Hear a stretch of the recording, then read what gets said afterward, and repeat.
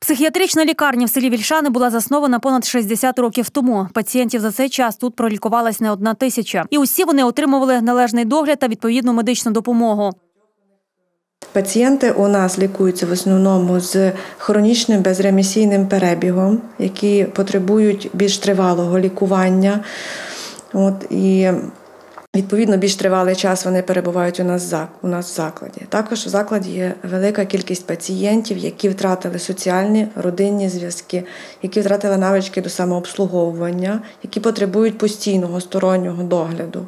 Зараз переважна більшість пацієнтів, а це майже 80% хворих, люди старше 60 років. Усі вони потребують не лише лікування, а й особливого догляду, адже значна частина з них вже не може себе елементарно обійти. Їх треба годувати, а навіть інколи водити до вбиральні. Проблема в тому, каже директор закладу, що з початком другого етапу медреформи заклад втратив більше 80% фінансування. А це значить тих хворих, які тут перебувають вже багато років, просто нічим буде ні лікувати, ні годувати.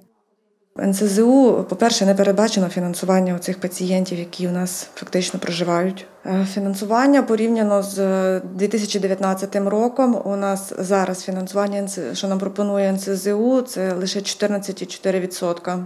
Наприклад, якщо ми потребували е, на це на 9 місяців 16 мільйонів 700 до кінця року, то НСЗУ нам пропонує 2 мільйони 760 тисяч. Тож, яке майбутнє чекає на хворих, які більшу частину життя провели в стінах цієї лікарні, важко і уявити.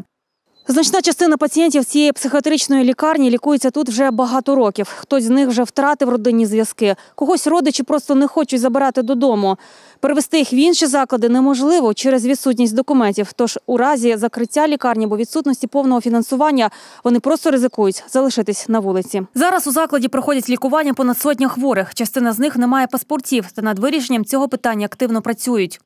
Тому що без паспорту ми не можемо нічого. Ми не можемо. Відновити пенсію. Ми не можемо зібрати пакет е, документів для отримання путівки у психоневрологічний інтернат. Перш за все, у нас вимагають паспорт цього пацієнта. Багатьох їх привезли ургентно, швидкою, без родичів, без нікого, або вони самі поприходили сюди до нас без документів, без нічого. Головне, що усі пацієнти, які тут лікуються, відчувають себе комусь потрібними. З ними спілкуються на рівних та дозволяють допомагати у господарчих справах. Багато наших пацієнтів разом з нашим персоналом е, залучаються до якихось легких робіт. Е, от, Бачите, у нас є е, ферма, на якій є у нас на утриманні є двоє коней, то догляд за цими конями проводять наші пацієнти. Вони знають, що вони потрібні, вони знають, що лише вони це можуть зробити.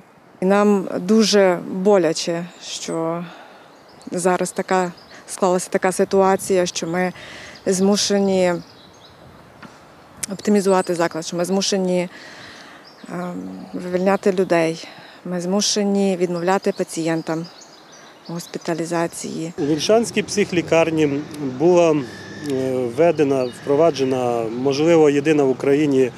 Е, лікарня, де був впроваджений повністю вільний режим хворим, які знаходяться вже у стані після гострого психозу, яким треба, яких треба реабілітовувати. Вони мали там повністю свободний вихід.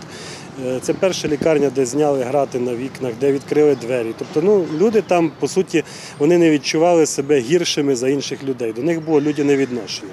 Навіть тих хворих, які, е, яких треба було прив'язувати, скажімо так, до кроваті, купірувати їм психоз, у вільшанах їх кормили з ложечки.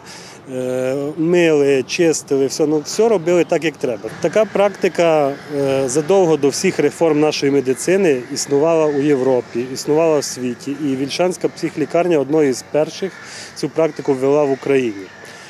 І тому, е, якби у нас реформи робилися так, як треба, то саме ця лікарня мала стати взірцем для інших лікарень. З неї мали би брати, брати приклад. І, По ідеї, туди би мали направити гроші. Медичні працівники різних рівнів переконані, такі заклади ні в якому разі не можна залишати без фінансування, адже це фактично означає їх закриття. Звичайно, коли не є грошей на зарплату, на отримання хворих і так далі, то вимушеною мірою є скорочення цих закладів. На сьогоднішній день ми несемо дуже велике навантаження соціальне да, по соціальним особам, по соціальним програмам. Дійсно, якщо забрати цю складову і залишити тільки лікування, лікувально-діагностичну роботу, то можливо воно би трохи ситуацію змінило. Але в державі, де працює, де не працює ефективна економіка, е, звичайно, цього робити зараз не можна. Напевно, найгірше те, що вони розуміють, що е, вони е, нікому не потрібні, що вони лишаться самі, що вони залишаться без засобів для існування. І вони дуже боляче це переживають. Тож чи залишаться пацієнти таких лікарень сам на сам зі своїми проблемами та якою буде їх доля, поки питання однозначно лише одне: без допомоги та підтримки інших такі люди довго не проживуть.